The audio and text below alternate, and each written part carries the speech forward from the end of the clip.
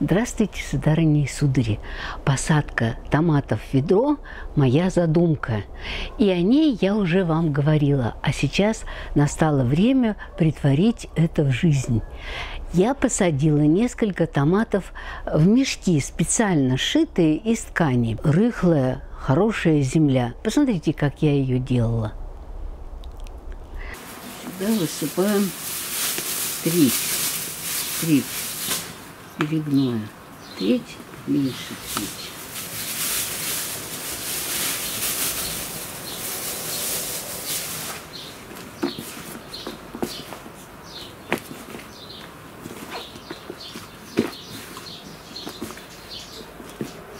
Перемешиваю.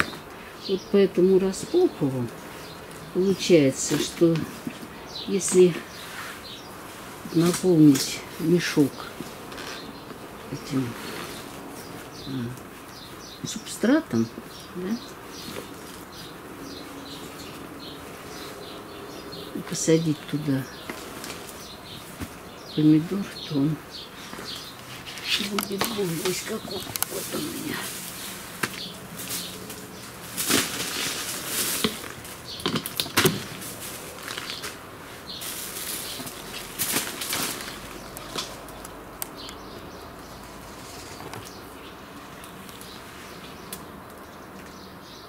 Хлебосольный сорт называется. Так.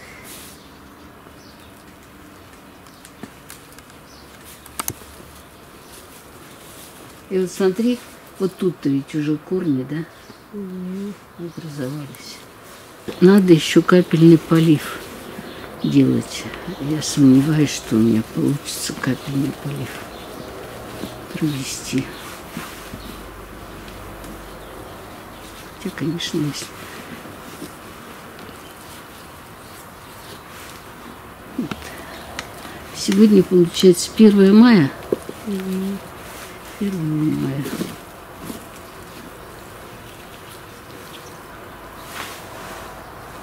Посмотрите, томат уже зацвел, хотя сегодня 13 мая. Ну, посмотрим, когда будет урожай. А вот сейчас я устанавливаю этот томат в ведро. И когда минует угроза заморозка, можно этот томат вынести на улицу. Тут получается такая хитрая штука. Мало того, что примерно сантиметров 30 э, занимают корни в мешке, но они же могут пробиваться и дальше.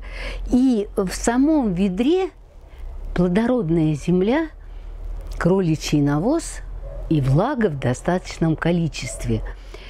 Конечно, по замыслу Распопова должен быть капельный полив. Возможно, мы его установим. А можно поставить бутылку, перевернуть ее, и она будет потихонечку отдавать влагу.